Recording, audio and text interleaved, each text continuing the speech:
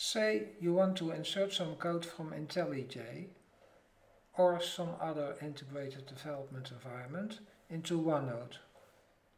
You want to maintain formatting and color. You copy the code in IntelliJ. Then in OneNote you try to paste. Then a copy paste action doesn't work the way you want. It won't work when you use the match formatting option. All spaces were gone. It won't work when you use the text only option. Because then you have no colors. There is a workaround for this problem. Paste the code into Word, then select it and copy.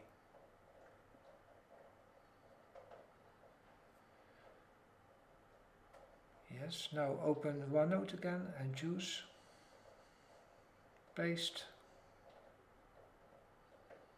match formatting, and there you are.